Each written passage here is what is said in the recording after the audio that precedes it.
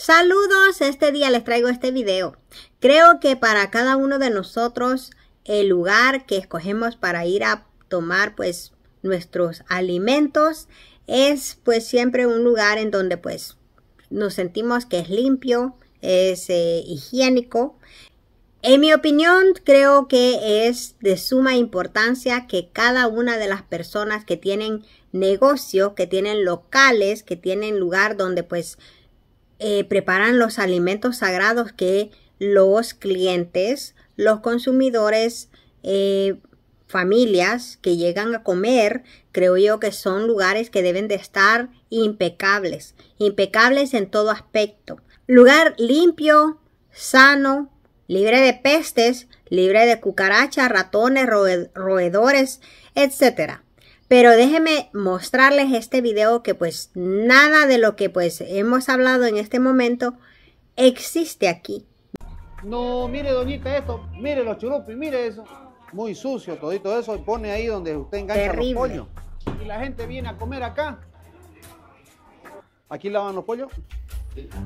Increíble lo que encontramos.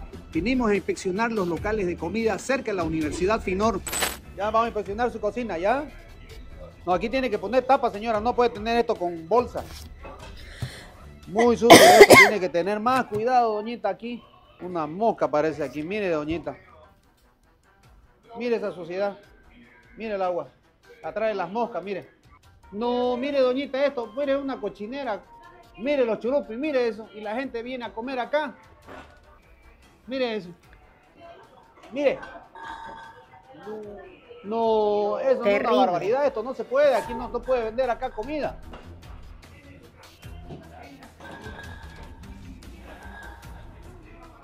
Nunca le han pasado aquí con una esponja. Y aquí donde se ponen los pollos, qué barbaridad. Los chulupis muertos, las chorizos, la carne ahí. No puede lavar pues los pollos aquí en una lavandería. Si todo dice, mire, está lavando los pollos. ¿Aquí lavan los pollos? No hay condiciones higiénicas para poder carne de pollo. Aquí lavan, se lavan las patas, aquí se lavan los pollos. Duermen ustedes aquí. No pueden atentar contra la salud de la gente. Esto no puede seguir funcionando. Vamos a proceder a la clausura de este local. No vamos a permitir que sigan atentando contra la salud de los montereños. Todos estos locales que no tienen las condiciones vamos a clausurar y vamos a sancionar a todos ellos. Vamos a seguir trabajando por la salud de todos los montereños. El tener un negocio de comida, un restaurante, requiere bastante higiene, bastante limpieza, todos los días, todos los días.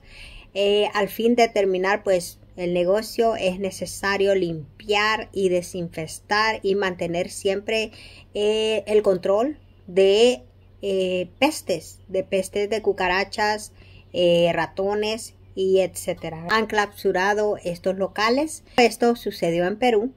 Excelente la revisión de estos locales, aunque creo que se tardaron un poco, porque imagínense, para que esto es, haya sido de esta magnitud, creo que se tardaron un poquito.